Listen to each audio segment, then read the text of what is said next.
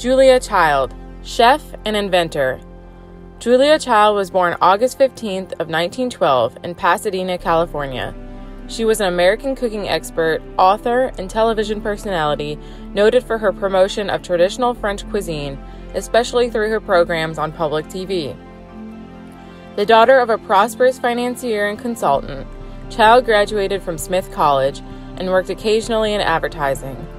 During World War II, from 1941 to 1945, she performed clerical work in Ceylon, Sri Lanka, and China for the Office of Strategic Services. OSS was the forerunner for the Central Intelligence Agency, where she met Paul Cushing Child, whom she married in 1945. Some people may know something of her surprising background. Julia Child was an intelligence officer during World War II. However, the details are worth illuminating. She played a crucial role in the invention of a shark repellent that was used to prevent the predators from detonating submarine mines. Due to her education experience outside of the government, people in OSS felt that Child was better qualified to a higher position and soon started working as a junior research assistant for Colonel William J. Donovan, who was the dir- director of the Office of Strategic Services.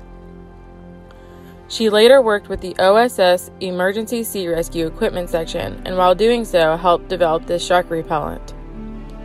The repellent's purpose was to prevent sharks from coming into contact with and thus detonating submarine mines, and to save the lives of seamen and pilots who found themselves in open water due to enemy attacks or accidents.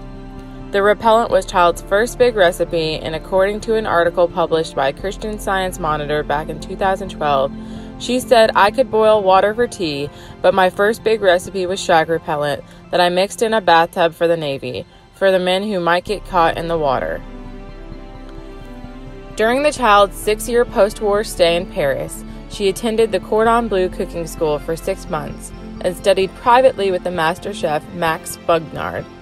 She and two French friends later wrote the best selling cookbook, Mastering the Art of French Cooking, which was praised for its clarity and comprehensiveness. Her culinary crusade was slated plainly in her introduction. This is a book for the servantless American cook who can be unconcerned on occasion with budgets, waistlines, time schedules, children's meals, the parent chauffeur den mother syndrome, or anything else which might interfere with the enjoyment of producing something wonderful to eat.